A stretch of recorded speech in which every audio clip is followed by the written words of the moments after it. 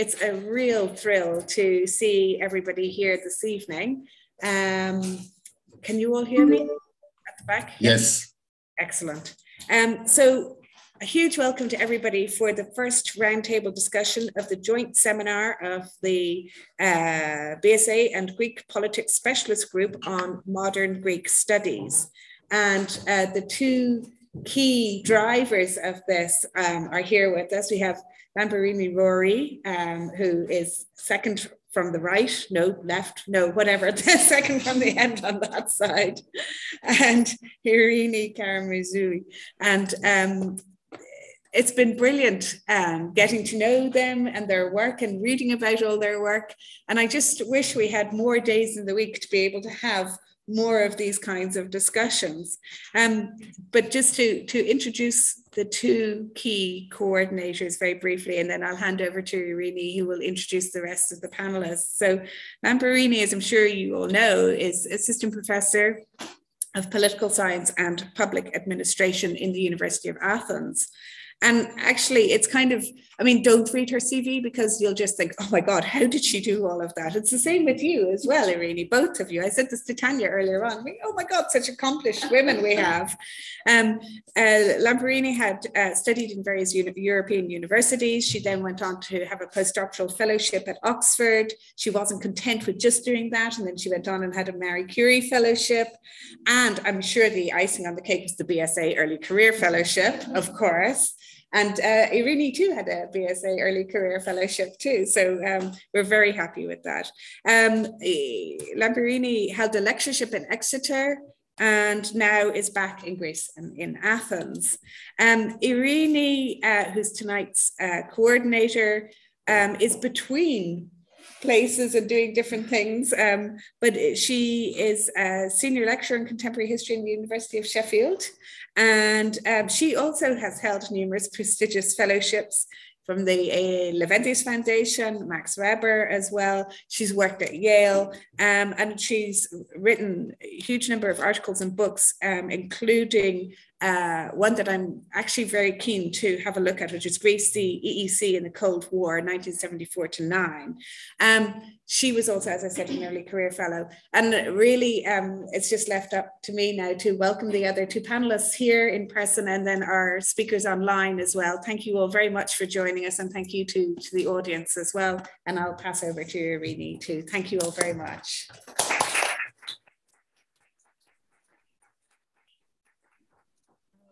Thank you so much, Rebecca, for this. And uh, we're very happy that the British School at Athens is kind of hosting us for a third year that we've been organizing with uh, Lamprini, this uh, series on modern Greek studies. Uh, but when I say we, it's not the, just Lamprini and I. Behind it, it's the Greek Politics Specialist Group. If you don't know them, they're an amazing uh, network, uh, international, that kind of uh, really supports research on Greece. It helps, it holds scholarly events, but mostly importantly as well, acts like a hub between experts, scholars, and media. Do check it out. And if you are interested in Greece, you should sign up as a member.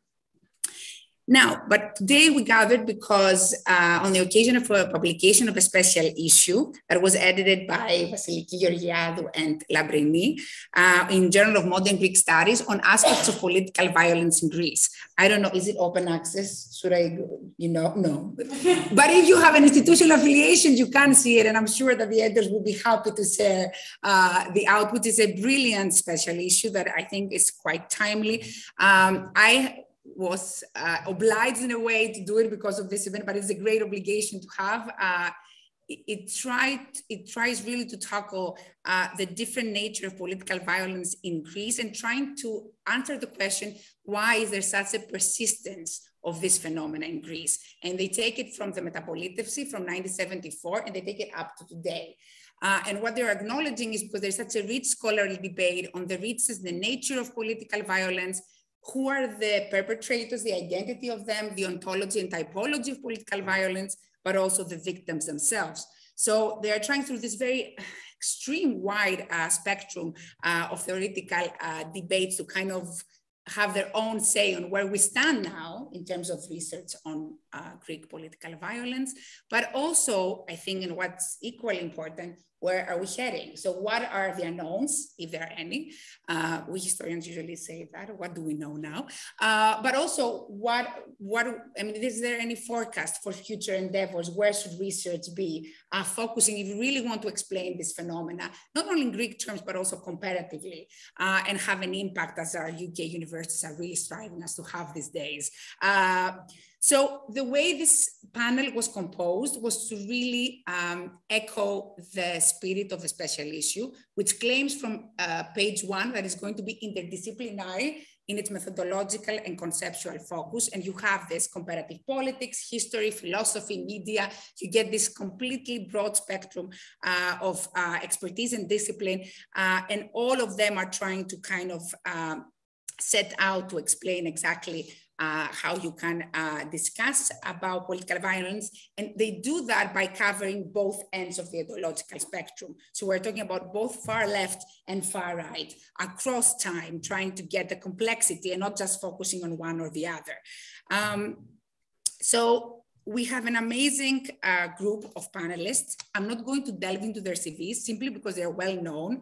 They're extremely research active, all of them, both online and here.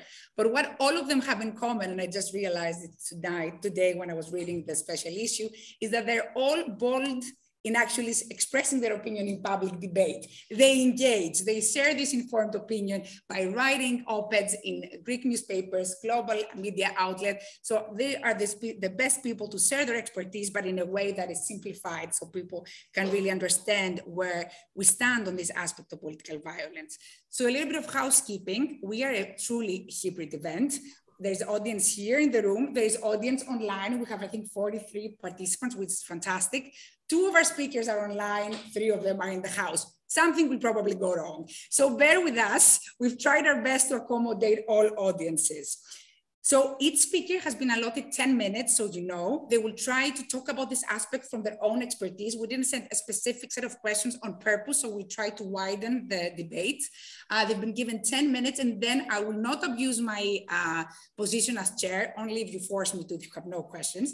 And then I will open it up for Q&A for around uh, the rest of the half hour that is left. So hopefully that is clear. Also, people that are online, if you want to ask questions, please type on the chat function that's the bottom of the Zoom link. I will try to read them all, filter them, and pose the questions to the participants. You cannot pose a question if you're online. Here, you're allowed to do it. Um, okay, so very quickly, I'm going to introduce my speakers. Really, I'm not going to delve into their CVs. They're absolutely um, I mean, unnerving uh, from someone who is reading them. So the first one to go uh, and will be online is Stathis Kalyvas. He's a Gladstone Professor of Government at Oxford University and a fellow at All Souls College.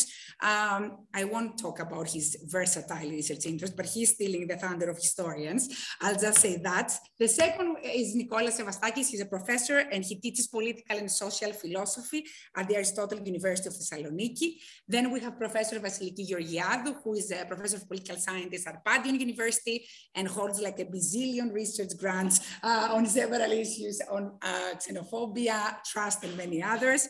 Then my partner in crime, Lamprini Rori, who has been introduced, uh, but has written extensively on the topic. And last but not least, uh, Romanos Gerodimos, who is a professor of current global affairs at Bournemouth University, also is extremely versatile. He films, he directs, he researches everything. And I just discovered that he just published a book on interdisciplinarity applications of shame, violence theory, and breaking the cycle, which sounds really interesting. Congratulations on that. Okay, that's it. The, the floor goes to uh, Stathis first. We thank you so much for accepting our invitation and hope to have a fruitful discussion. Stathis, the, uh, the floor is yours.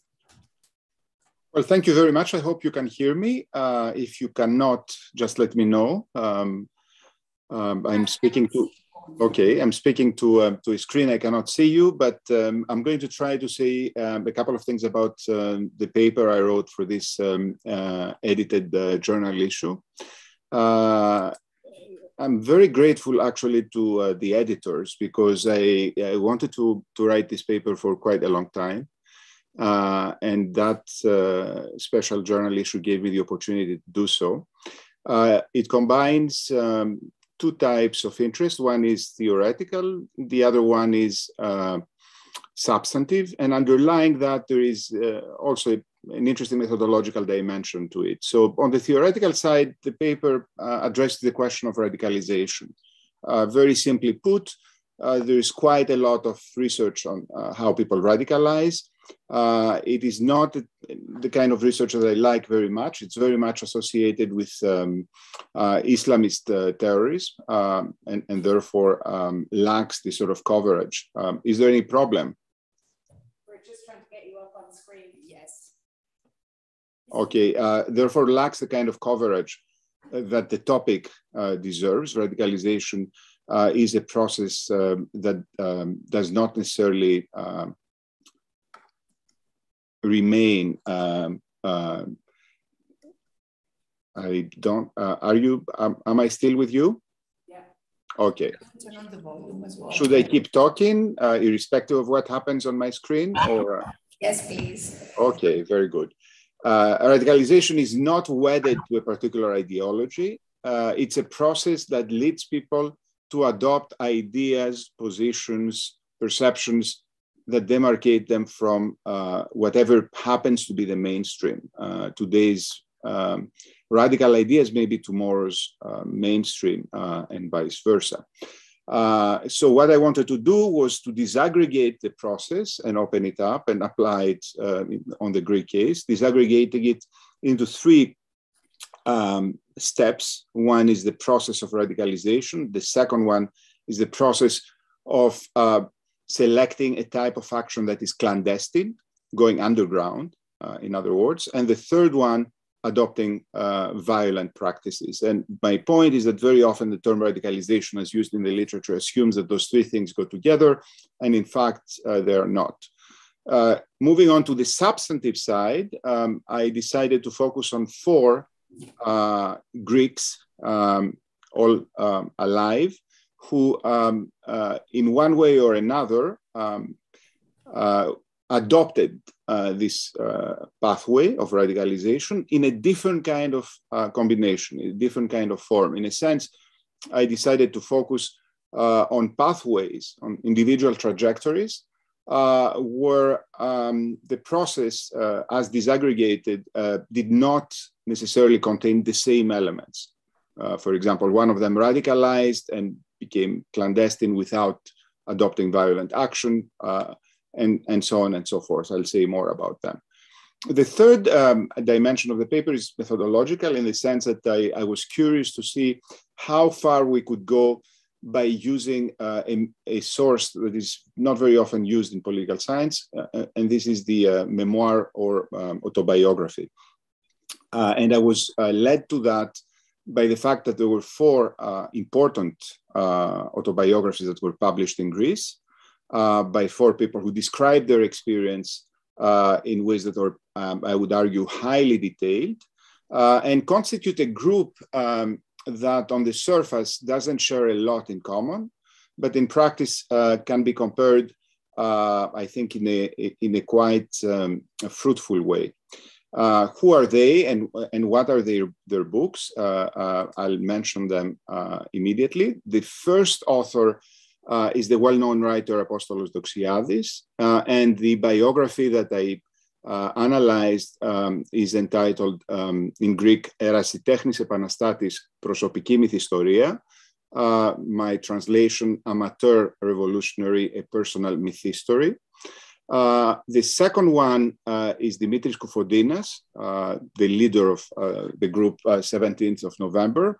Um, the book is entitled uh, uh (The uh, 17 November. I was born on 17th of November and, and was published um, a few years um, ago. It's the uh, earlier of, all, of these four books. The third book um, uh, is a biography, an autobiography of Nikos Giannopoulos, who is a, a left-wing activist um, and a street fighter, as I characterize him. Uh, his book um, is entitled uh, «Όλε Φιλαλάκο, μια ιστορία για το κίνημα, τη ζωηρή άκρα αριστερά και τους ανθρώπους της». I translated that a bit liberally, but uh, that was the only way to do it. Oh boy, a history of the movement, the buoyant far left and its people. And lastly, the fourth book um, uh, was authored by um, a bank robber and kidnapper, uh, Vasilis Paleokostas, Uh, the title is «Μια φυσιολογική ζωή, δράσεις και αποδράσεις ενός επικηρυγμένου, uh, translation and normal life and outlaws, escapades and escapes uh, in my translation. These are four very different people, but they all share uh, a process that led them to adopt uh, ideas uh, and, and in some cases practices uh, that move them away from the mainstream, although in a different combination. Uh, Apostolos Doxiadis uh, is uh, a person who becomes radicalized during uh, the Greek dictatorship, the colonel's regime uh, in the late 1960s and the early 1970s. Uh, but decides to go underground, um, acts clandestinely during um, the last few years of the dictatorship in a variety of activities, but never adopts uh, violent practices. In fact, he rejects them uh, emphatically. After the end of the dictatorship, uh, he de-radicalizes, he becomes mainstream, and I argue that his story is perhaps the most representative uh, of many uh, Greek uh, youth during that time who became radicalized um, uh, because of the, uh, their, their, experiences of the dictatorship and de-radicalized after the dictatorship was over, uh, in the sense that uh, they uh, did not go underground, became uh, active in a variety of uh, uh, conventional political parties, in a sense spanning the entire range of the spectrum. We still describe these people as the generation of the Polytechnic because uh, they are very closely associated with uh, uh, the insurrection of the Polytechnic School in Athens in 1973. and uh, the book presents uh, an overview of his various uh, choices, dilemmas, and so on. the second person, Dimitris Koufontinas, who is serving, still serving a life sentence in a Greek prison for his um, activity in the context of the terrorist group 17th of November, uh, also wrote a, a very um, uh, well-known um, autobiography where he describes uh, his choices and, and, dilemmas. He also became radicalized uh, very much uh, like Doxiadis around um, uh, later on. He was younger, but around the Polytechnic insurrection as well. Was active in a variety of radical politics immediately after uh, the collapse of the dictatorship and the transition democracy, uh, and then became active uh, in underground activities and violent activities. Uh, he uh, has been, in a sense, tried has been tried and convicted of various assassinations. Um, and therefore, um, even though he begins in the same trajectory like Doxiadis, he follows a very different path uh, in fact, the end of the dictatorship and the transition of democracy mark uh, the complete opposite trajectories and exemplify uh, two very different pathways. The mainstream, the more conventional one, exemplified by Doxiadis, the much less common, yet one that the literature has associated with the so-called fringe uh, developments in radical politics when people who become disappointed uh, with um, uh, peaceful radical activities uh, become uh, and join violent movements. The third person uh, is someone in between the two previous ones. Nikos Giannopoulos is not uh, broadly known, but is extremely well known uh, within the far left in Greece. He's uh, the person who is most associated with um, street action, demonstrations, riots, what have you. He's been present in all those activities uh, after 1974, also radicalizes as a younger uh, boy uh, in the Polytechnic uprising, becomes very active in all these causes um, after the transition to democracy, uh, participates in various street actions that entail vandalism, um, fighting against the police, and at some point even considers, and, and he uh, mentions that in his book, uh, undertaking um, a clandestine action. Uh, he gets uh, training uh, uh, in a Palestinian camp, but decides, as he claims, not to against that that. is very close to Koufontinas. In fact, he's the person who edited and prefaces Koufontinas' memoir. And his own book is prefaced by a well-known um, uh, leftist journalist uh, in Greece. Uh, he interacts with a lot of well-known politicians of the left, especially the component of Syriza that comes from um, the old Synaspismos party is the left wing of that party. At some point, he becomes a member of Syriza himself, and, and he quits before Syriza becomes comes to, to the government. Uh, he's is, as a lot of the reviews point out of his book, um, a living memory of that um, uh, more activist um, aspect uh, of the Greek left, and, and he's very much liked uh, by those people.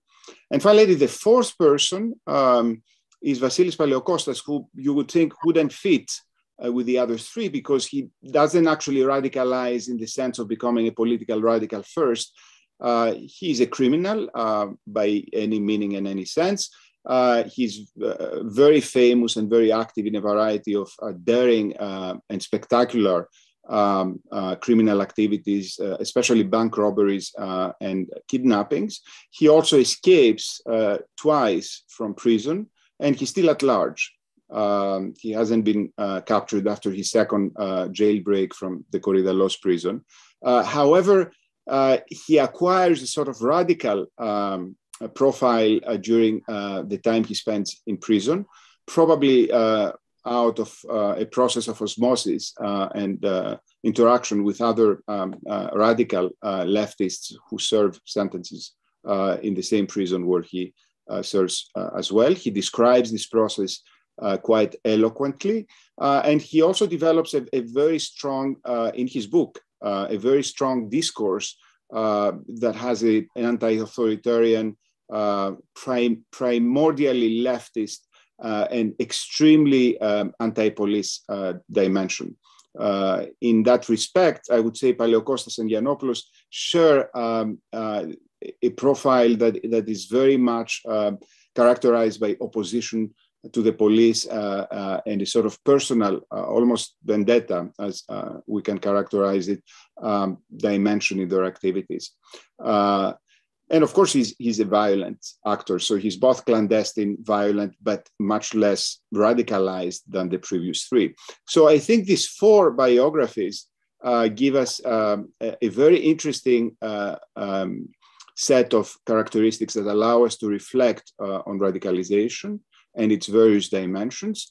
Uh, but they also allow us to reflect uh, on a certain um, relation between clandestine, radical, violent action on the one hand uh, and the legacies of the left on the other hand. The point I made in my paper uh, is that even though Apostolos Doxiadis represents the more uh, typical pathway, uh, he's the least popular among the uh, today's uh, today's left. Uh, he has actually he's not describing himself he, himself as a leftist anymore, uh, but he's not uh, his his pathway is not um, characterized as as as, as something that, that, that is worth um, representing an example of sorts. whereas the other three characters, all very different from each other, uh, are very much um, celebrated uh, as heroic and, and, in a sense, fulfilled a sort of agonistic paradigm that has uh, remained extremely, um, I would say, uh, present within the left. Uh, even though Koufontinas uh, is a, convicted terrorist, he enjoys a lot of um, positive press within a segment of the far left. you probably remember uh, the mobilization uh, of thousands of uh, activists um, uh, a couple of years ago in the, in the core of the pandemic uh, in favor and in support of a, a, a, hunger strike he undertook in prison. He, in excerpts from his autobiography were published um, in, I think, Eleftherotypia when the book came out. Uh, Yiannopoulos is, is, celebrated among the left uh, as representing the um, agonistic um, character um, that the left uh, wants to um, emphasize. And Paleokostas uh, as well, uh, even though he's uh, a common criminal uh, who's and potentially someone whose radical profile is perhaps opportunistic, has also been celebrated very much. excerpts uh, of his uh, biography, autobiography, were published in, um, I think, Efimerida ton Syntakton uh, before the publication of his book. And it's, his book is actually, compared to the other three, the one that sold the most copies, the most popular one among the public. so here we have, I think, a, a very interesting um, theoretical and, uh, and substantive uh, set of uh, trajectories, a lot of uh, very insightful points, uh, an unusual comparison, uh, which I was very happy to be able to do. thanks to um, and Labrinis Prodeng. So thank you very much for having me. and I'm sure we can discuss those issues um, and you can read the paper and let me know what you thought of it.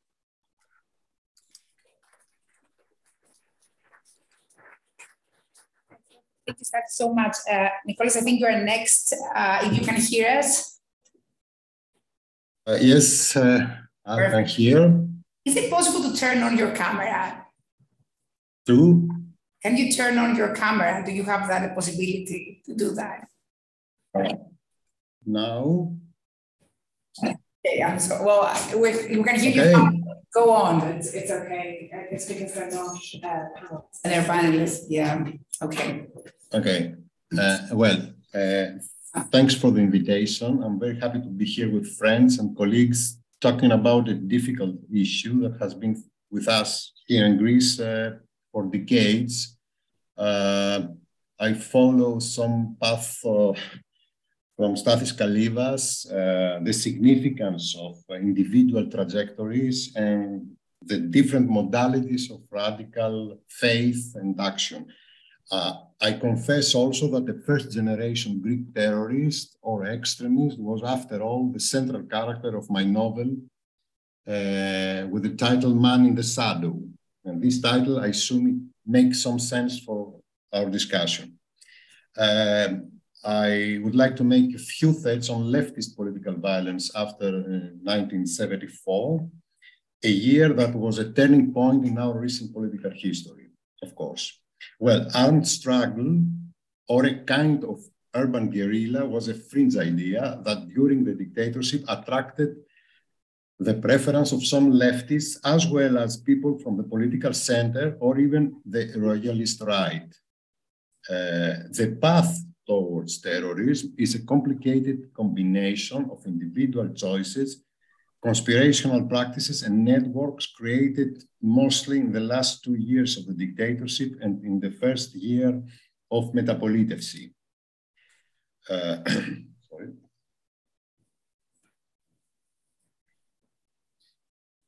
Uh.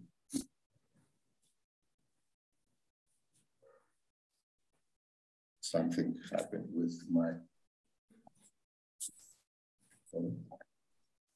We can hear you though. Uh, yes, yes. Ah, okay, okay.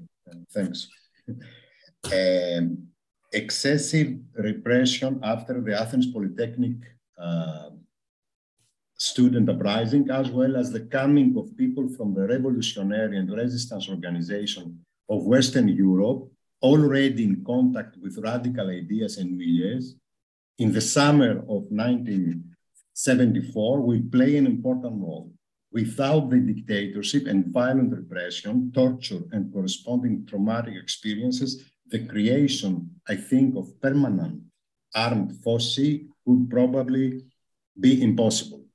Immediately afterwards, discrete contacts of armed militants with elements of the new labor and social movement of factory workers was also remarkable for the creation of the field. But when the first uh, 17th November assassination will take place, the space of armed organization was closed and barriers and different high levels of secrecy were created. Uh, the field of left political violence after uh, 1974 was expressed mostly in a language originating in the history of Greek communist movement. The style of analysis, vocabulary, goals, and public sentiments that accompanied this violence are part of a long tradition that goes back to the 40s and 30s. Of course, the new urban practice is dissenting and in a distance from the established codes of the old left politics, the legal organization and parties of the left. However, without the common and powerful civil war mythology as a just popular war, and without the experience of the seven year dictatorship, it would be very difficult the creation of armed organization and the legitimation of radical and violent practices.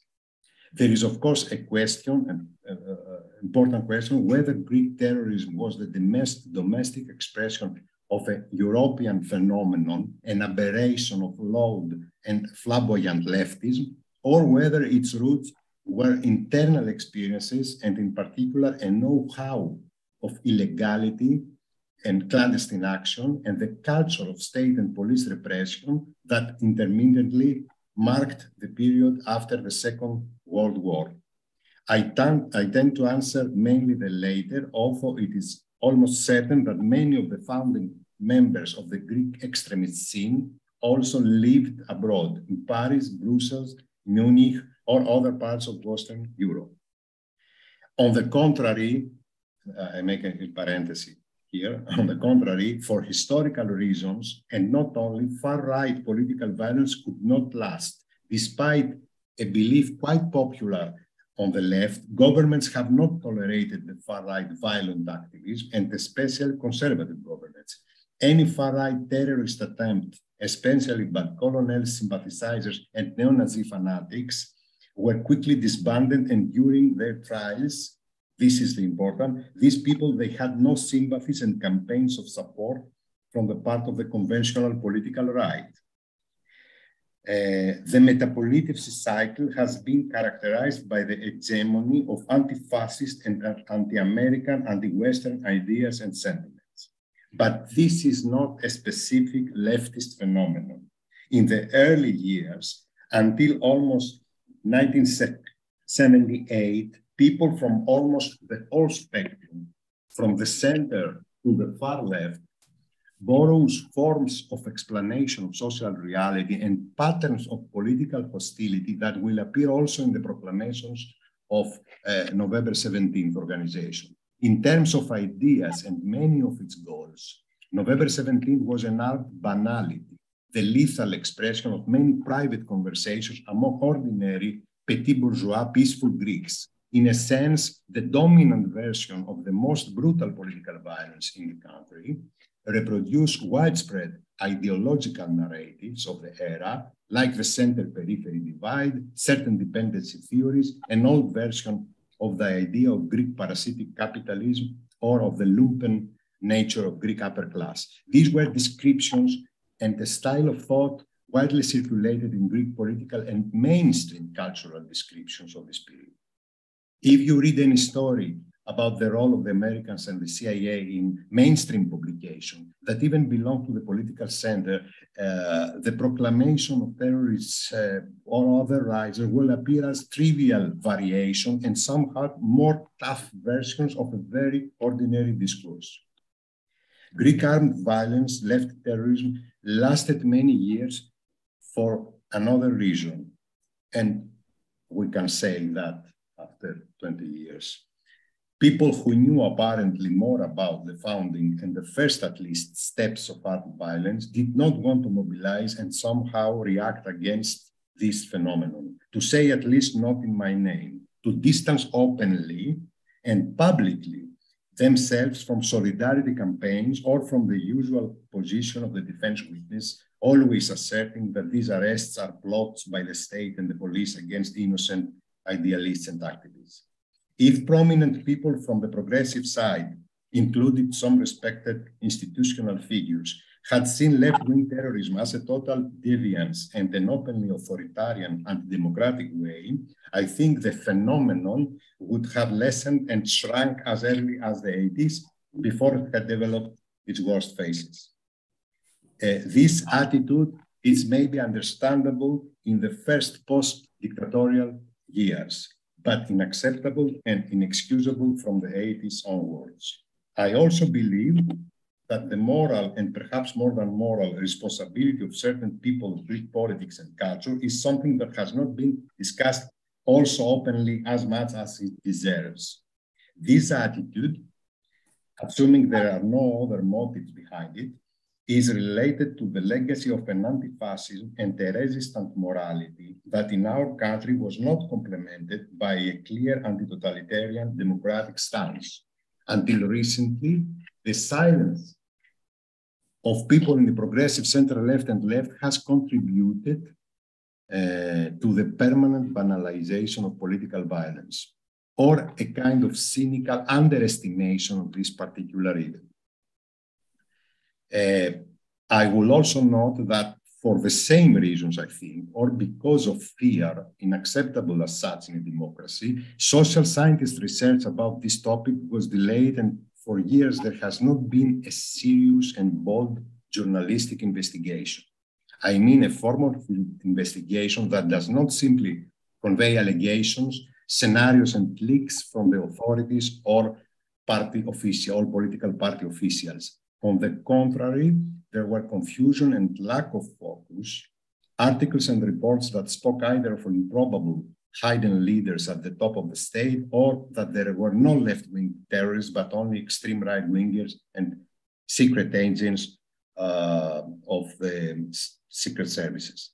A close review of the press and other open sources uh, shows that there was a sort of noise around every terrorist act. I mean, a rather chaotic and chatty handling of every incident.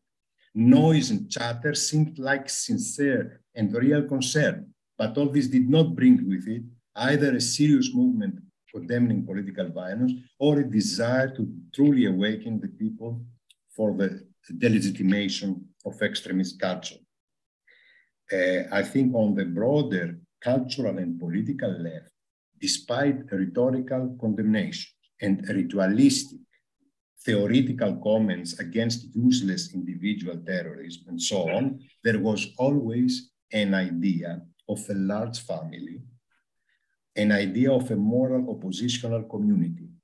Within the construction of this moral community of anti-systemic voices and anti-establishment moods, found shelter, and those who burned buildings, killed people, or sought to intervene in political process as armed minorities at the expense of democracy and our common life. This is the uh, Rossana Rossanda say, the um, family album of the left. Uh, and it's a problem that this discussion has not opened yet. Thank you very much.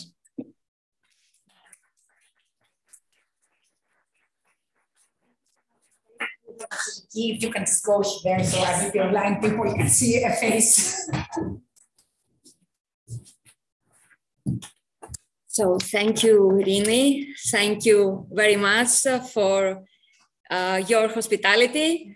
Um, as uh, Eirini said in um, uh, in, in the introductory remarks, uh, we have guest edited together with Lamprini a special section in uh, the Journal of Modern Greek Studies um, that is dedicated on political violence in Greece.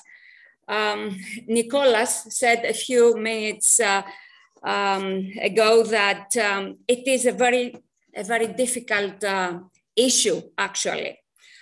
Um, so uh, we are grateful uh, to the editors Antonis Ellinas and Johanna Hanink for this opportunity uh, to uh, uh, guest edit a special section uh, in a so uh, difficult topic, which is political violence, especially in Greece. Um, the section includes uh, four articles. Um, one of them is uh, the article of uh, Stathis Kalyvas, and uh, he has uh, already explained uh, about um, uh, the content, and we were also impressed um, that he has um, explained um, um, the different um, pathways of radicalization, and he has distinguished um, radicalization from violence, these are not uh, um, um, identical actually as phenomena, I mean, uh, as Stathis um, um, pointed out, uh, radicalization um, has uh, um, could be expressed uh, through uh, clandestinity, uh, through moderate pathways, etc., but also violence and, and open violence could be an alternative of um, a radicalized pathway. A second article is written by uh, Maria Pontiki, Nikos Aridakis, Dimitris Goumas, and Maria Gavrilidou, and um, uh, examines um, uh, verbal aggression on the Greek Twitter. And the authors find out that uh, although New Democracy was mostly attacked uh, um, before and after the 2019 parliamentary elections, Syriza was the recipient of the most offensive attacks. I think this is an important finding. Uh, a third article is written by uh, Mike Phillips and Anders Jupskås.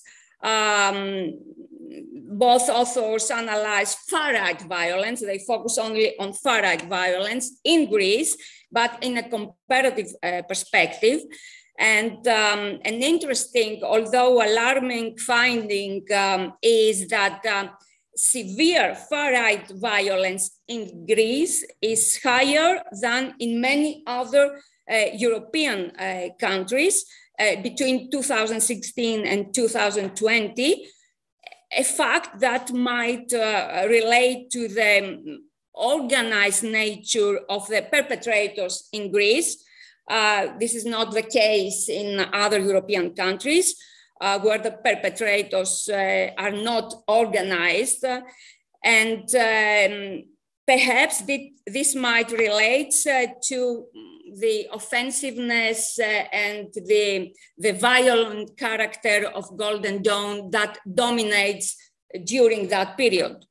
And the fourth paper is written by Lamprini, Kostas Roumanias, and me, and analyzes uh, political violence in Greece from 2008 to 2019. Uh, so we focus on uh, the second generation of political violence, Nicolas Sevastakis mostly uh, focused on the first generation of political violence in Greece. And we covered both ideological uh, phases of political violence based uh, on a new data set uh, that uh, scrutinizes the phenomenon uh, from new perspectives and angles. Um, let me uh, say a few words uh, um, about uh, the concept, about the theory, the theoretical part of, uh, of uh, our work. Um, we rely um, a lot on Stathis Kalyvas' uh, conceptualization of political violence. And uh, Stathis um, wrote in many papers uh, that uh, political violence is a very broad and uh, actually ill-defined term. And we try to, to, to define our own working definition on political violence, writing this, this paper and editing this volume. So we focused on uh, non-state uh, violent actions uh, that challenge the state's monopoly of violence and the authority of elected officials and incumbents in setting and implementing political goals. Uh, this is our working definition. Uh, the fact that we do not concentrate on other aspects of political violence does not mean that we ignore these other aspects um, for instance, that um, uh, state, uh, the state and states uh, um, exercise violence as well, legitimized and illegitimized. There are structural aspects of violence, uh, institutionalized uh, violence, etc. So there are other aspects of political violence although we focus only on um, what I said, the non-state violent actions. Um, political violence, a part of um, being ill-defined, uh, is also a fluid ph phenomenon in the, in the sense that non-violent actions may escalate into violent conflicts and vice versa. Violent actors may strategically follow non-violent means or low violent means in order to be more influential. Uh, the Greek December of 2008 initiated a new cycle of uh, unrest and gave rise to this fluidity. Since then, Greece has experienced a new cycle of violence with political connotations on which we focus uh, in our research and in this paper, in this special section, uh, presenting also a new database on political violence from 2008 to 2019. I would like uh, to add two remarks, one on methodology we have implemented and another one on um, the analytical part of our contribution. First on methodology, given that uh, no systematic official data on political motivated uh, non-state violence exists, uh, at least for the time period we are interested in, from 2008 to 2019, we extract data mainly from media sources and from other digital sources, employing event analysis, which is a key method in uh, international conflicts uh, and protest movement studies as well. Our unit of analysis is the violent attack. Uh, we identified violent attacks having used a list of keywords and phrases related to political violence with which we search for violent attacks in our data sources, media, and uh, digital, Google. Um, each violent attack was coded for specific attributes and registered irrespective of the ideological orientation of the actors or the nature of attacks. After we have collected the violent attacks, and classified them according to various parameters and attributes, incidents when then uh, categorized to a far right or a far left orientation. Um, this does not mean that there are no differences between far right and far left um, in uh, uh, concerning political violence, of course. It uh, it only means that we are interested in the whole spectrum of political violence and use the same parameters for recognizing attacks uh, from our sources. Um, so we implement um, um, the same uh, methodology and uh, taxonomy in order to classify, to find out and to classify um, the violent attacks and then to categorize um, in far left and far right violent attacks. Um, and the last point concerning uh, our analytical contribution, uh, political violence, as we know, and uh, uh Nicola Sevastakis um, uh, has uh, explained in her speech, uh, in his speech, what I'm, I would like to say. Political violence did not die out after the return to democracy and did not disappear after the arrest and dissolution of November 17. However, despite this persistency of political violence, um, it is not a linear phenomenon. There are fluctuations and waves or cycles of violence, of political violence. In our research, we focus on the last wave of political violence that was accelerated after December 2008 um, in the midst of uh, financial crisis and in the peak of uh, the refugee flows in Greece. Uh, this is a context that um, intensified polarization, as we all know, and political destabilization which created, on the other side, opportunities for the acceptance, the toleration, or even the use of uh, violence, of political violence.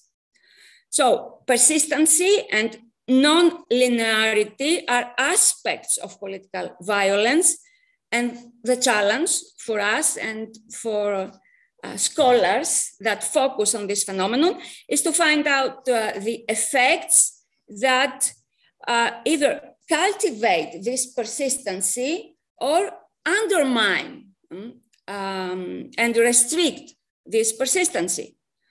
Um, for example, which framing issues or policy increase or decrease political violence. This is something uh, I think important.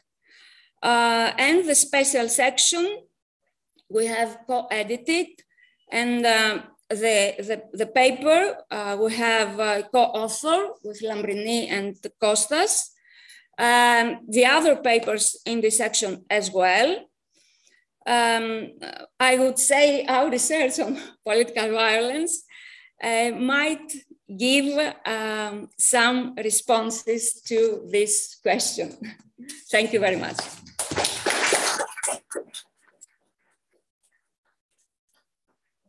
Next.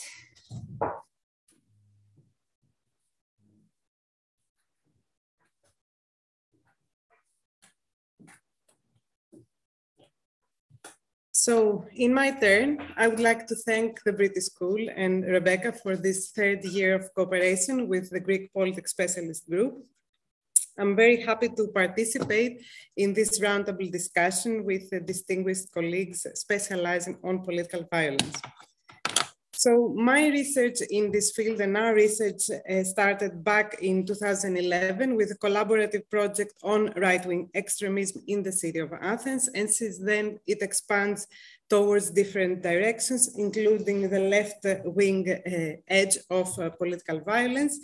And uh, we all the more use uh, more uh, methods in order to try to understand the phenomenon. So with the financial aid of an LSE grant that we were awarded by the Hellenic Observatory, uh, initially with uh, Vasiliki uh, Georgiadou, and then joined in our team by Kostas Roumanias, we constructed a data set on political violence by the use of media sources. Uh, I will now present some of the findings of this research since um, Vasiliki has introduced the, method and the concept that we have um, um, used in order to construct the data set. So we uh, examine political violence in this very turbulent context that started with the riots of December 2008 and aggravated uh, with the financial crisis until 2019. December 2008 is a very, very important uh, um, uh, moment in this uh, period of uh, uh, study because it's not just another trigger event, it is a real catalyst which radicalized a substantial number of young people and thus contributed to the construction of a second generation of political violence in Greece since the transition to democracy. We end our research in 2019 because with the exit from the bailout agreements and the governmental change, it marks the end of this very difficult, traumatic period for the Greek society and uh, the economy. For this, um, we created the data set, which comprises 2,429 violent events, uh, of which 1,925 stem from uh, the far uh, left and 504 stem from the far right. So although there are significant disparities between uh, the political extremes, our research shows that political violence is certainly a two-sided phenomenon. We identified differences between far right and far left violence in terms of both frequency and variability and in terms of how political violence is to be explained we found that far left violence occurs almost four times more frequently than far right violence. Far right violence uh, seems to be more evenly spread across the country. It is less variable over time and it is more consistent in terms of frequency and intensity. On the other hand, far left violence seems to be more prone to external and random stimuli. It is uh, uh, being grounded in pre-existing practices and uh, a culture of sympathy for acts of anti-state resistance, anti-systemic behavior, violent confrontations and protests that have been institutionalized since the mid 70s. Uh, far left violence is less consistent and it presents greater variability both in time and space. It is mainly an urban phenomenon. It flares up in densely populated uh, areas at times of tension. Far-right violence, by contrast, is neither urban nor uh, rural only, and it does not fluctuate to the same degree as far-left violence. It exhibits greater consistency over space and over time. Now, the organized component of political violence seems to be similar for the two ideological uh, sides in the way that it evolves, at least from 2010 until 2017.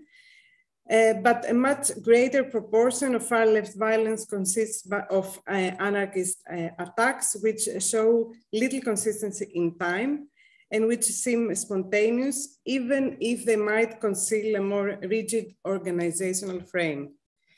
Far left and far right acts of violence also differ with respect to the targets. Far left perpetrators prefer material targets, whereas far right perpetrators prefer human ones. Also, far left actors commit more incidents of low intensity, whereas far right actors uh, more incidents of high intensity.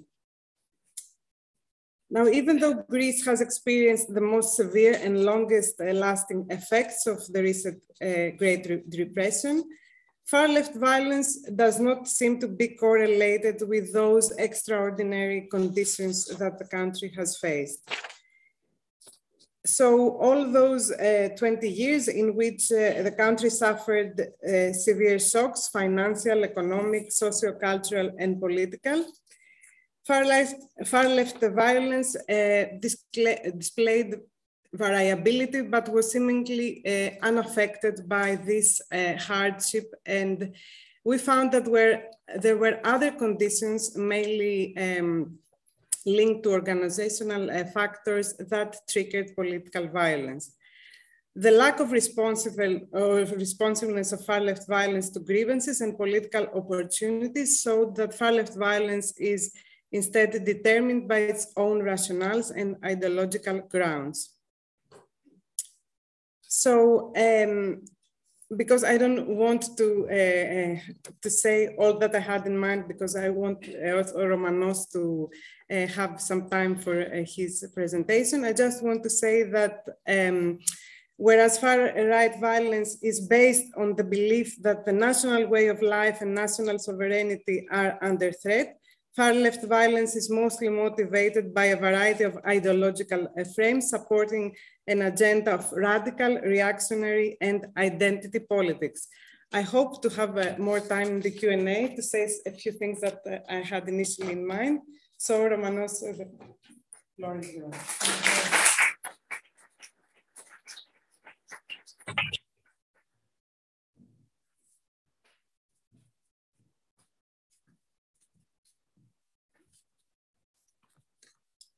Thank you very much. Thank you, Rebecca, for welcoming us in this uh, beautiful space. And thank you to Lamprini and Eirini for this invite and the Greek Politics Specialist Group as well.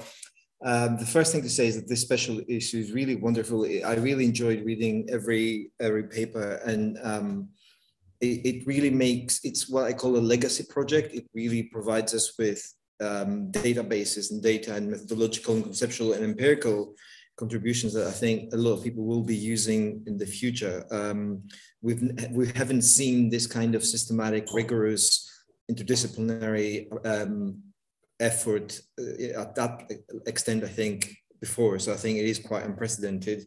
Um, the amount of data in it, not just kind of like raw data, but uh, but um, really systematically, transparently collected and laid out is is is wonderful. Uh, the first thing I, am going to be really brief because I want to leave some time for questions. Um, so I only have like six very quick uh, observations or provocations. Uh, the first one is that what this does, what their data does, is um, identify fluctuation over time. So political violence is not a constant. It's not, you know, we tend to say, oh, you know, there's political violence. Um, it's not kind of like a sort of a, a, a flat line across time. It changes. And I think that is really important because for many reasons, but obviously change over time means that there's there are causal relationships at play. So there's cause and effect. So it helps us understand what is going on what is what is contributing to violence. So I think it's important to look at um, when is it changing. I have to say, actually, I was surprised by by um, that study that that Lamprini just presented, because, for example, uh, experientially or from my observations, I would have thought that, um, broadly speaking, from 2008, which which everybody has rightly said is was really a key moment in Greece we had that first period of really seminal moments of violence until 2013. It was uh, the outbreak of the Greek crisis. There was a like there was a lot of protests in, in downtown Athens. Um, there was the Golden Dawn, of course, but there were also famous uh, cases of arson and so on. And then you had a period where Golden Dawn is being contained, and then um, and we're we're heading towards normality a little bit. The crisis is being normalized, so you have a middle period where there's a little bit less violence. And I would have said that the third uh, period when Syriza gets elected, and it acts as like a pressure valve that takes uh, the pressure off the political system since then that we've had like the least violence. But actually if you look at their their graph uh, which is sort of here you'll see that actually that far left violence especially like shoots up after 2017 which i thought you know wow i didn't really see that coming. And and, and it's good to be surprised by these kinds of studies because it reminds us it's kind of like a, you know it's it's it's, sort of humbling but it, because it means that your, your analysis has to be grounded in data. But also you know if for some reason you think that this there's something not wrong but like there's another way to interpret this then you it, it helps you be transparent about um, interrogating those findings. So i think that's really really important. Uh, the first thing uh, the second thing I, would, I, would, I to say is the biggest takeaway for me is really the quite um, clear now well fact that there the fact far left violence in Greece is real um, and it's been real for a very long time and it's massive and and I want to juxtapose that to the astounding silence that there's been in the literature um, back 10 years ago when some of us were talking about the theory some so-called and much maligned theory of the two extremes uh, we, that was a taboo on social media. If you said that there were like two extremes in Greece, you were like immediately in the territory of character assassination and being completely cancelled, as we would say today. Um, so having this kind of like data which shows that fire violence is, uh, I'm not qualitatively judging. There's no good kind of violence and no bad, but it exists. You know, it, it's it's an, it's a problem. Um, and the problem with with with with not talking about it is that what you're doing is you're legitimizing uh, it, by being one-sided. You're allowing the other side to feel to develop a culture of grievance and victimhood that then legitimizes their violence and whatever they do then um, is considered to be okay. Um, so I think that's also important. Third thing I'm going to say is that, um, and this is where I diverge a little bit from the special issue in my interpretation. Um, we also need to look at psychological and psychosocial root causes of violence. So political violence is violence. Of course, there are specific characteristics of political violence. Um, but we, I think very rightly, uh, and others have said that we need to broaden the definition of political violence, and I would argue that we need to broaden it even more. So domestic violence or gender-based violence has political or a political in, intersects with political and social aspects, or even you know when hooligans trash the metro every weekend, which I, like I've been around for a couple of months now, and it happens every weekend in front of my eyes that is not necessarily political violence, but actually it is because it reveals something about power relations in this country and in public space and how certain groups appropriate space and how they how they see themselves and their role. And I'm talking now about, for example, football football clubs or their their their fans and so on, and how that gets then entangled with media ownership. Um, so of course, you know, if you follow that logic, then trashing the metro by a few football hooligans could be legitimately considered to be political violence. So, um, so we need to, we also need to think about um, those other spaces. Uh, I'm not saying I'm not saying that the special issue doesn't do that. I'm saying we also need to, in terms of looking forward, we need to take this work and build on it, looking at, at that aspect. Um, the, there is a tendency to focus on resources and opportunities um, in, in political violence, which is right, but to, to use sort of Agatha Christie terms of means, motive, and or, or motive, means, and opportunity, I think we also need to look more deeply into motive. Um, and what I mean by that is we need to look at um, violence not just uh, in a vacuum, but within an affective ecosystem. So within an ecosystem of emotions. So violence is not um, something that happens separately. It's it's related to anger or fear or resentment or any other kind of palette of emotions. Um, our how we are brought up, our relationships in the family, um, all those things that may never actually manifest themselves in what you classify through our data as violence, but actually the root causes are the same. And, and, and Irene kindly mentioned the book we did on shame. And I personally think without wanting to be sound monocausal, that, that shame is has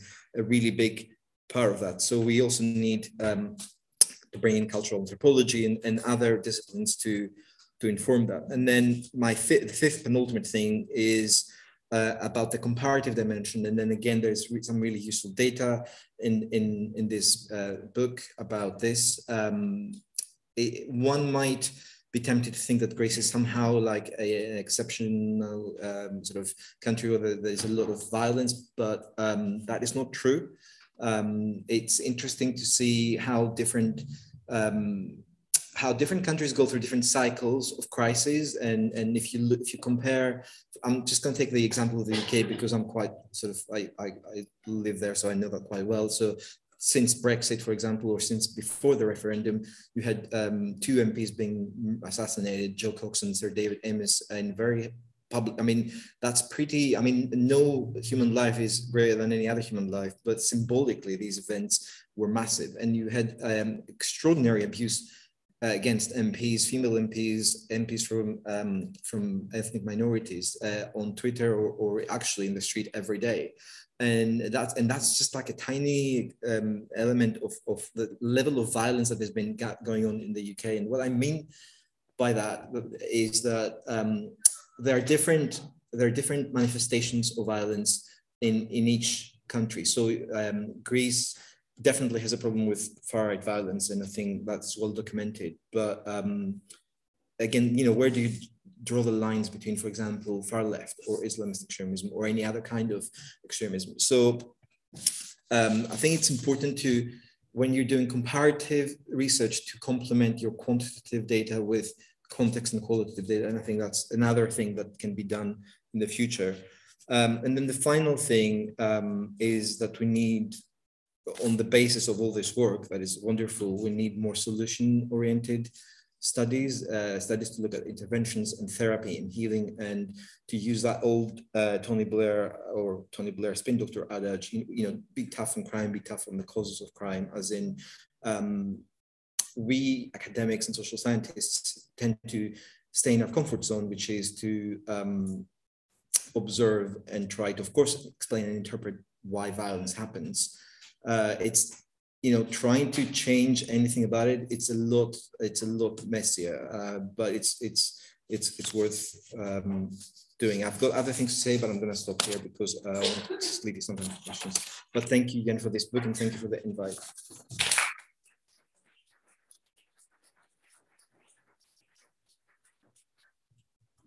Okay, I'm going to navigate both online and here, uh, and I'm going to stand here and hopefully uh, see how we move on. And thank you all for a great uh, uh kind of presentations, and also Stathis or Nicholas, if you want to uh, kind of uh, talk, give me a wave or something, and I'll try to give you a room to be able to discuss as well. So, do we have any questions? Yes, please. First of all, thanks very much to speakers and present ones and the absent ones as well. Um, two short questions. Um, the first one uh, was mentioned by Professor Kalyvas, I think, Professor Georgiadou, um, is that there's also the, the form of non-state violence and there's also the form of state violence, which is highlighted, culminating in these days, I think, uh, about police brutality and it forms into an argument of um, you know, an equilibrium because there is non-state violence. Uh, that's why there is state violence as well, and the opposite, you know. Um, and my, my understanding throughout the, the talks was that um, it's because these people who participated in uh, political violence, and non-state political violence, uh, throughout the previous decades, um, it's not that they just participate, but somehow, at some point, they formulate arguments um, about the state, about the function of the state, about the function of the institutions. And it seems, in my understanding again, that these arguments are adopted, are incorporated into major political parties in Greece. Um, and somehow they tend to put pressure on the, um, on the government, on the uh, opposition to incorporate these arguments about police brutality. So it seems that there is a sort of uh, dilemma to choose which violence is good and which is bad. And please elaborate on what extent um, the arguments on police brutality is a sort of answer to non-political violence. And the second question, mostly mentioned by Professor Gerodimos, I think, and Professor Sevastakis as well, is that um, uh, from what I, I try to work on these things, I understand that every time in the 20th century we have an economic crisis, the far right and the far right crisis appears to be culminating again. Every time we have in Spain, uh, in Italy, in Germany, um, a sort of political crisis, the far left violence and um, um, politics, let's say, seems to emerge and culminate again. Is that correct? Is, is my understanding correct? Or uh, what, what else you might wish to add, please, on that? Thank you very much. If there are no other questions, I, would say let's give it a go. Uh, who wants to go first? Yeah, I, I think if if Nicholas or Stathis wants to intervene, they can just, uh, uh, yes. Yes, uh, the, the last point, the last point, uh, the far right violence and the economic factor uh, and the far left violence and the political crisis, as I understand the question. it would take a major economic and social crisis and the near bankruptcy uh, of the country to witness the emergence of a very dangerous dynamic on the far right and even a neo-Nazi far right, not a far right uh, populist uh, uh, new right, but near uh, neo-Nazi far right. Uh, through the particular form of a political party cover criminal organization.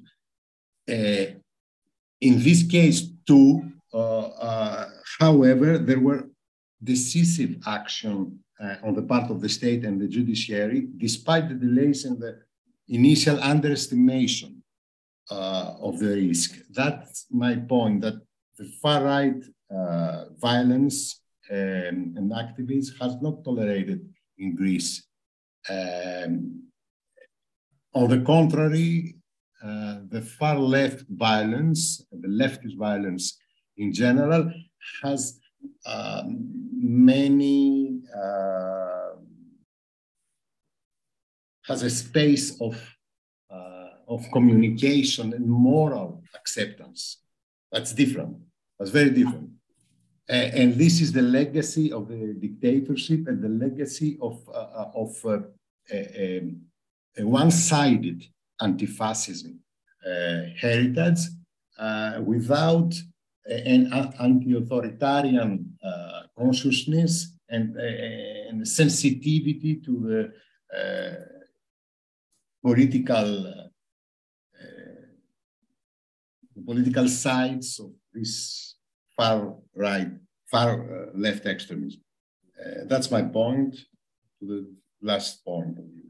But you Thank you. say that it has political roots somehow, the far left, while the far right seems to have economic roots, let's say root causes, let's say. Would you say that? This is the question. Uh, that it needs empirical data, and I know that it's not an easy thing to answer, you know, quickly. But um, is this your understanding as well? I think the I think the economic crisis um, um, affects more the uh, middle class uh, strata, uh, middle class strata that uh, the radicalization of middle class people and youth or follows mostly the nationalist rhetoric or the rhetoric uh, against the immigrant.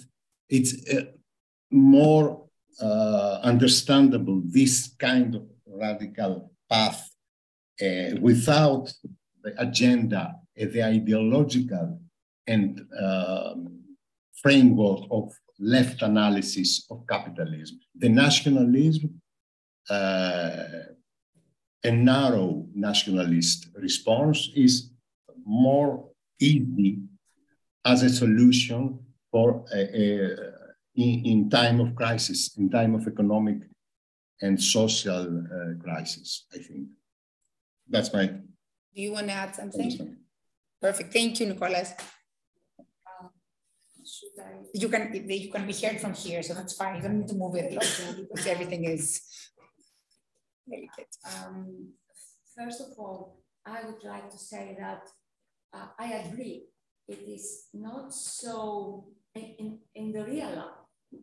Um, it, it, it is not so easy to differentiate between uh, state or institutional and non-state violence. Uh, we did this uh, because uh, our data set, our sources, our data sources uh, had specific limitations. Um, in the sources, uh, we have chosen many media. Oh. We have a dog in the room.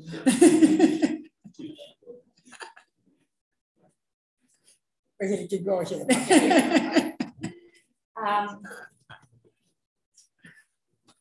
was not possible to do both and to cover the entire spectrum of political violence. Um, in another project I have worked in, um, where we have focused only on the far-right violence, um, we found a lot of evidence of uh, uh, police um, um, violence that was triggered by the police officers uh, on duty as well as off duty. This was not the police as an institution, but what we found um, was incidents, incidents, violent incidents, mainly attacks against immigrants or bad behavior against media, uh, immigrants committed by um, police officers during their duty or um, off duty. Um, another point that um, um, that is um, that we have to mention is that uh, state and non-state violence and the different aspects of violence are interrelated to each other. There is an interaction uh, between, um, for example, um, far right and far left perpetrators. Um, there is uh, very often an offensive uh, um, conflict between them that provokes violence as well, uh, which is the result of this interaction. Uh, so in the real life and in the society, um, it is not uh, so easy to differentiate, but we did, although we know uh, that uh, um, this puts some limitations in uh, our results and our understanding of, of violence. Concerning the, the reasons, um, what motivates violence, uh, I think it is, um, uh, we have more findings concerning what motivates uh, far uh, right violence. In that case, we know that um, um, economic reasons, um, as well as cultural reasons, uh, play a role. In many cases, at the same time, both drivers, economic and cultural, are important and uh, uh trigger and far-right violence, and not only far-right violence, uh, far-right support, support for the far-right parties, far-right organizations, movements, etc. as well. Okay, Lamprini, or do you want to add something? Um, well, regarding, Briefly. as, as, as Vasiliki said, the second question, you know, regarding far-right violence and what triggers them. Far-right violence is much more embedded in the context of the financial crisis, it's true. So economic grievances and cultural backlashes uh, trigger far-right violence. On the other hand, far-left violence did not respond to those uh, theories that we tested, so grievances, for instance, and political opportunities. And as political opportunities, we tested, for instance, the participation of an extremist part in parliament, like Golden Dawn, and uh, the fact that we had for the first time a radical uh, coalition government composed by the far right, the radical right and the radical left. So far right is responsive to those political opportunities, whereas the far left is not. But on another, uh, let's say the second uh, step of our uh, research that we uh, uh, conducted with on the organizational components, which is much more quantitative, we saw that far left organized violence is much more about internal stimuli. So it's more around commemorations of uh, far left, let's say, important historical events. It is about solidarity to their um, uh, comrades that might be imprisoned, or it is about um, organizing initiatives of uh, fundraising, etc. So far left violence uh, more related to um, historical legacies, as previous uh, speakers said, but also it is about its organizational dynamics. And for this, December 2008 was very important because numerous organizations have spread out of this uh, experience of the riots of 2008. I was just, oh, I was going to say that. Plus, and just add one thing, which is that far for the far right, and we're generalizing now. It's sort of the, it's it's the loss of uh, world or a life as we that we to insecurity about the future, which could be economic or cultural, migration, and so on.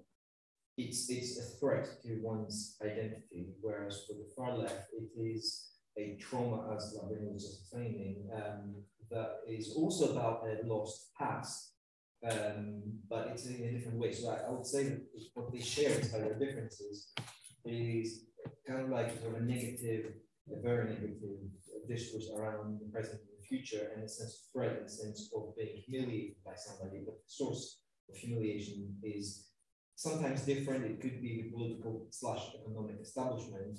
I think that that's where sometimes they converge. One, one, one is much more about, um, the finals is much more about sort of macro, I would say, whereas uh, macro being um, financial institutions and, and, and political elites, whereas, uh, whereas right, of course, through populist discourse can, can um, sort of weaponize it and use it, but it's also about um, what's happening in, in sort of a micro community um, it could be immigration, could be changes to um, family values or whatever it is that, that that's threatening that. So I wouldn't go I wouldn't, for me, this is not between economics and politics, but between these more nuanced things around the past and, and threats to one's um, identity. Great. Any other questions? Yes, please. it's been quite interesting, and uh, since we all live here and we experience that, it, it, it's a wonderful procedure to put them in an order. For me, that is the most important issue tonight. Well, I have something that came to mind. It's uh, what is the connection between violence and education? I always consider that in order to achieve a better society, you had to to, to, to look forward to, a, to um, um, aristocracy of the spirit through education. Does that apply here? Is it violence, political violence, or all kinds of violence that you explain related to lack of education or affected in any way by education? Are you talking about both per perpetrators and society allowing it exactly. in a way? Okay difficult question. Have you have that in your data sets? What can we say about it? Um, so to properly answer this kind of question, one needs individual level data, and we don't have. So I cannot uh, have a, a data-driven answer. Uh, but what's your feeling? Well, uh, I think that you know we all participate more or less in the same educational system. And uh, this does not uh, vary a lot. What I think is quite problematic is that a big proportion of this uh, uh violence is initiated inside universities. So in the connection between, uh, let's say, protests, social movements, and um, university spaces. So education in that sense, I cannot say, as a, I understand that your question is about education as a value. Exactly. It's quite exactly. important. The only thing I can say which relates uh, specific to our research is that all the, these spaces around the educational system, they somehow uh, help those, uh, let's say, uh, violent uh, ideas to spread and organizationally also uh, for uh, violent actors to penetrate inside uh, the youth and the youth movements. So I, I haven't answered your question, I know, but that's how I could answer. Maybe it's a next uh, project. It's very difficult because uh, you have to have individual level data from violent actors the only type of data that we had, I don't know if to monopolize time, is that when we have we've, done some interviews with left and far actors, it's true that there is a big difference. Far left uh, um, interviewees were very well educated compared to far right ones. So we saw a big difference there. Uh, and most of the people that we have uh, um, interviewed in uh, who were inside the far left value movement. They were all, um, they all have masters and they were doing PhDs. So I don't know if this indirectly answers your question. Yeah. If I might yeah, please. We're running a bit of time, but I think it's important thing, important element to cover. This uh, qualitative data um, give an overview that is not uh, representative one. So um, there are only some signs, uh, we cannot generalize because we don't have individual data from a representative study that uh, us the opportunity to make generalization and to answer to your question. I guess this is the same for education as value, but also educational settings and institutions as cultivating radicalization of different types. Uh, Romano, you wanted to add something? Yeah, such an interesting question. Uh, I'll, just like hazard this a lot. I don't have the data either. Um, you know, if you look if you look at education, in, of course, in the socioeconomic kind of like level of education attained, which has left with simply class connotation, but I don't think there is there is any particular But in terms, of, and then if you think of education in terms of institutional education, the quality of education in Greece, I mean, you could argue that we had a very excellent quality of education for those who could be educated in the 60s and 70s, 80s, and so on, but that didn't stop having political violence, although you could say with you could say a relative improvement of um, or stability of the 1990s, for example, could potentially be attributed to a cumulative effect of post-1970s um, of society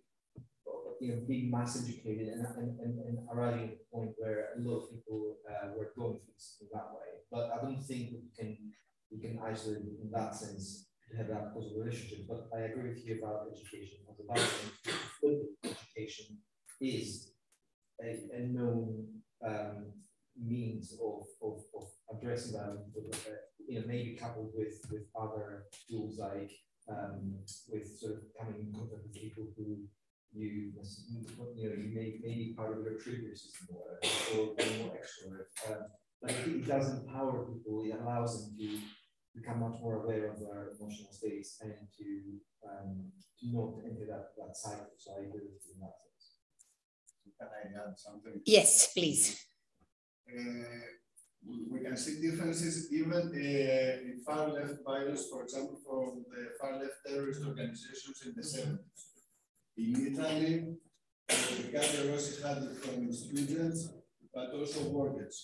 But uh, the terrorists from Baader Meinhof were mainly from the middle class and well educated. Or in Greece, uh, November 17, uh, mainly workers, or in uh, religiously motivated terrorists, uh, many had uh, PhDs and they go to make uh, terrorist acts I'm sorry, can I, can I no, just, we're just running a, little, a bit of time. I have, no, no, I understand, but there's another question. We'll talk about in during reception and like the people on Zoom that cannot uh, join us. Last, last thing, please.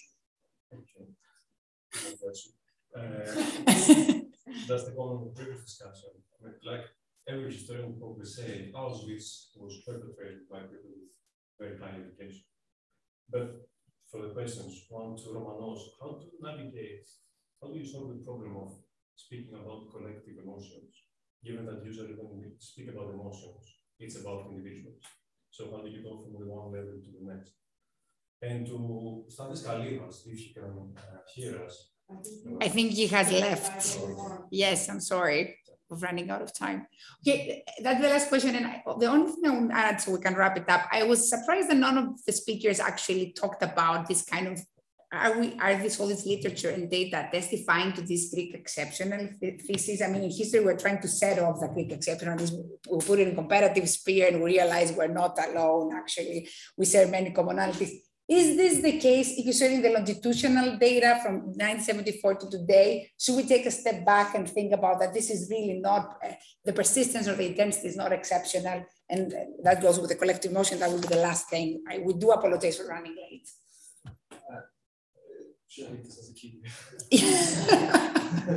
uh, yeah, no, I mean, I, I agree with you. And, and kind of like right now, at the same time, it'd be interesting to compare less violence. Of course, you can see what happens there. But to answer your question, uh, you, you could, there's two ways you can approach this. One way would be uh, the micro level of, of our emotional states. These are not, again, we're not vessels. You know, we are the way, you know, the, whole of uh, field functional for example, would say the way we're brought up or the value systems or the family would um, facilitate or cultivate particular ways of reading the world and not to mention about um, mental health and patterns of country. But then in terms of like taking this scaling example macro, uh, I, I, just personally think it's legitimate to talk about with, with lots of caveats and so on and so forth about collective emotions and and to at least in the in the context of academic research try to treat uh, political cultures and cultures as a possible unit of analysis because I mean you know unless you unless you believe there's only you know individuals and families is paraphrased the British Prime Minister, uh, there are also societies which have interesting traits that are not unique but different to each other. So, yeah. Sorry. No, no, no, no. Last, last point, or are you? To your question. Yes. Um, about uh, the um, alleged uh, exceptionalism. So it is alleged. I think. Think. Um, in a way, it is alleged. Um, actually, uh, in many other European countries, but not only in Europe, mm. in the States as well, in Latin America as well. Um, there is a lot of uh, violent actions um, in, uh, in, in, many um, in many sections, in many spheres of society. Uh, there is uh, a kind of uh, violization um, that um, in, uh, in, in Europe, in South Europe, took place um, during uh, the economic crisis. And I think uh, all this, all this crisis that um, um, one after the other produces a, a, lot of resentments and resentments and feelings um, that are, um, let's say, a, a, a fundament, uh, a, base for, for the rise of violence, for preparation of violent actions. So, um, but there is perhaps a sign of a Greek uh, exceptionalism um, a, paper, the comparative paper uh, yeah. that is included in, in, in this section, um, both authors, they came to the conclusion that severe uh, political violence in Greece is much more high than in many other more than 10 European countries. And I think this is a kind of exception to the rule. Okay, perfect. We have to wrap it up. Apologies to the people on Zoom. It failed us completely. You, co- you could not uh, write in the chat uh, box and you were waving hands. Uh, we feel totally apologetic. Uh, I don't know what happened. We'll fix it next time for sure. So we